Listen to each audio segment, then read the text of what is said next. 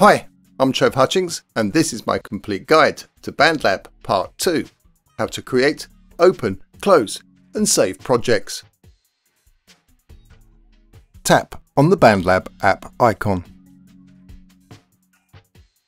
To create a new project, tap on the red plus icon.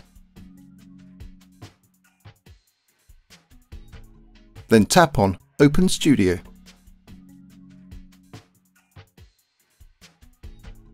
Next, we need to add our first track to the project. Tap on Voice Audio to add an empty audio track. If you want to record your voice with a microphone, or tap on Guitar if you want to record an electric or acoustic guitar, or tap on Bass if you want to record an electric bass guitar, or tap on Looper if you want to use one of BandLab's preset groups of audio samples. Or tap on Virtual Instruments if you want to create a MIDI instrument track.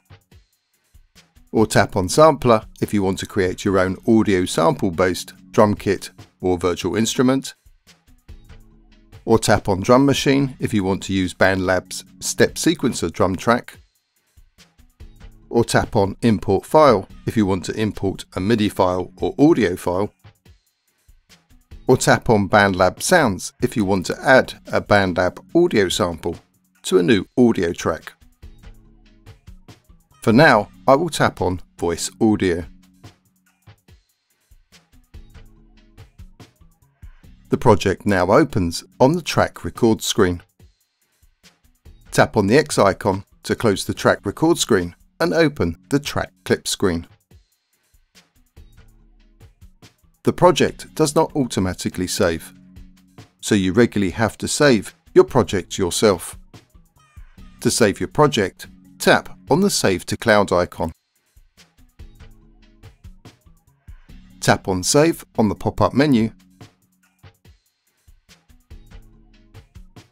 Type in a name for your project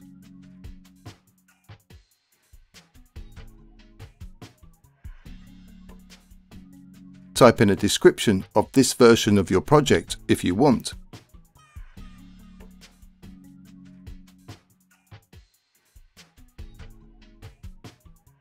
Choose a genre for your song.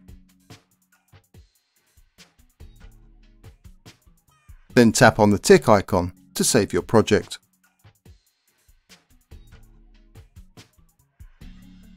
Your project is not saved to your phone, but instead saved to the BandLab cloud servers on the internet. So make sure your phone has a good internet connection. To close your project, tap on the exit icon.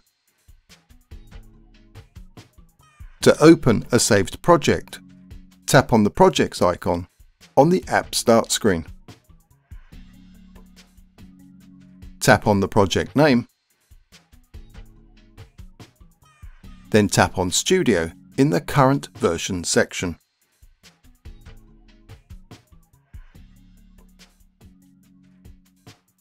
If you enjoyed this video, do give us a thumbs up and click on that subscribe button. Cheers!